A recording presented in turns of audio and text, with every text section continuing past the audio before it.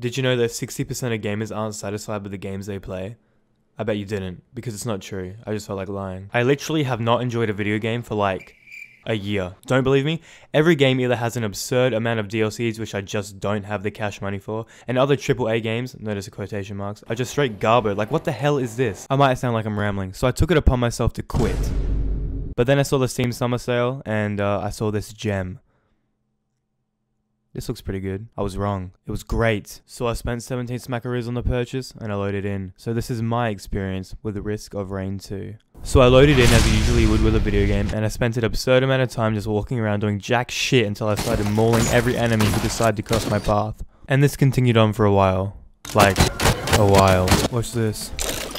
Now you may be wondering what happened for the rest of the game. Well, I'm gonna tell you. So I opened some more boxes, killed some more enemies, and just watch this.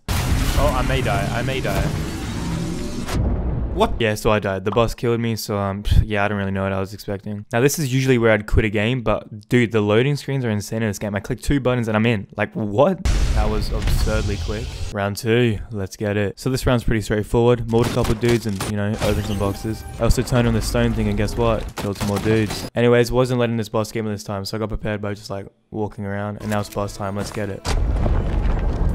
Oh, no, no, no, no, no, no. I think it's pretty safe to say that I absolutely destroyed these guys. So if you want to gist on how each round goes in this game, you pretty much just spawn in or like land, loot some chests, kill some enemies, and then you eventually just fight a boss. Let's run this. And if you die, you die. And if you win, you go to the next stage and do it all over again. Sounds boring? Wrong. And I'm going to show you why. Now I'm in a new area, keeping this playthrough fresh. New enemies, not new boxes, and a new boss. And that's, uh, that's, that's really about it. But hey, it's cool. So this is round two, stage two. Let's get this. Now you're probably thinking, wow, Brent, that's my name by the way. Won't this just get boring? You're doing the same thing on and on and on and on.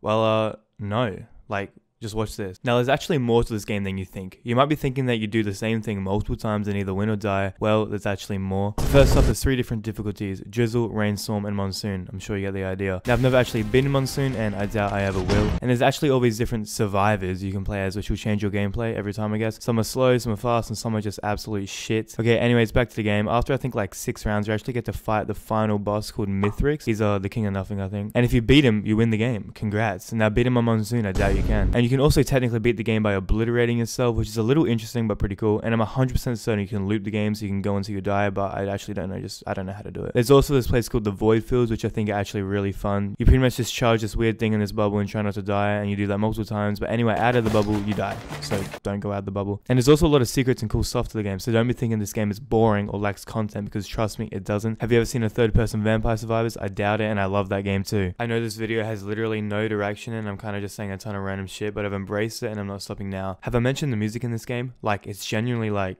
very good. Like, listen.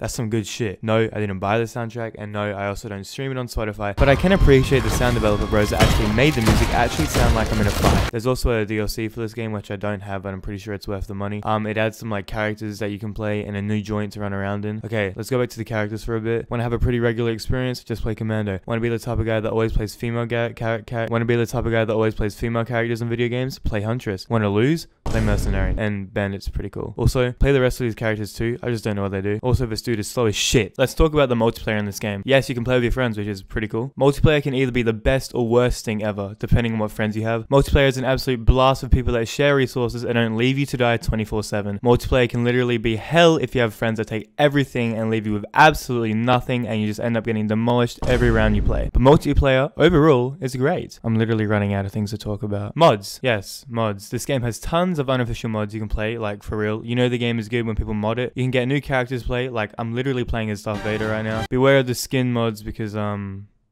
yeah, there's some quality of life mods too, which just make the game more enjoyable than it already is. And if you're a modder, I'm sure you can mod your own stuff. I'm not a modder, so I don't know. But if other people can do it, I'm sure it's not too hard. Did you know this game used to be 2D? Like, yeah, it was, and now it's 3D. Just thought that was a little cool fact. And they're actually making a remaster of the first game, so check that out if you like Risk of Rain. Yeah. So, did I enjoy Risk of Rain? Yes, I did. I actually loved it, and I plan to literally play it right after I finish editing this video. Is Risk of Rain worth your money or your time to legally download it? 100%. If you just can't find joy out of video games anymore, this game is just a breath of fresh air. Amazing game, amazing team behind it. I hope more games like this get released. It is obvious the developers had a lot of passion for this game and it isn't just a cash grab. Best roguelike ever. So, this is my final review.